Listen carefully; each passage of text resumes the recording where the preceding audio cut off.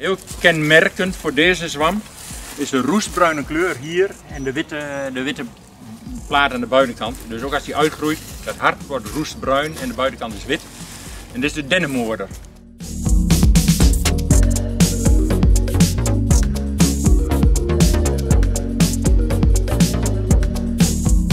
Nou, dit is dus in Duitsland noemen ze dat de Steinpils. Dit is echt een van de meest smakelijke soorten die we hebben. Eekhoorntjesbrood. Oh, hier daar staan ook een hele mooie. Eekhoorntjesbrood.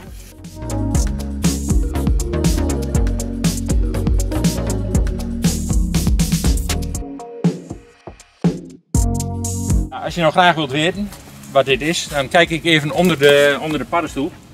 Oh ja, oké, oké. En dan zie ik hier, het, nou, die, die gaat er toch even weer aan. Dit is een van de melkzwammen. Het is nauw verwant aan de russelaars.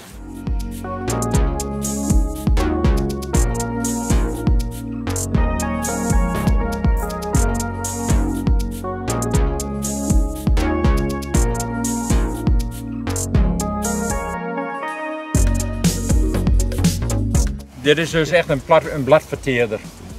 En, en, naald en hout en alles wat erop zit. Maar kenmerkend voor deze soort is als je aan de onderkant kijkt, is een beetje zalmroze. Die, platen zijn zalmroze.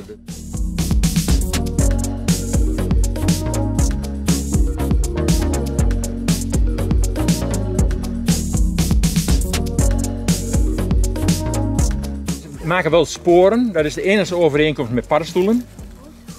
Maar voor de rest gebeurt er iets heel raars. Dit vruchtlichaam dat kruipt als het ware over dat blad heen.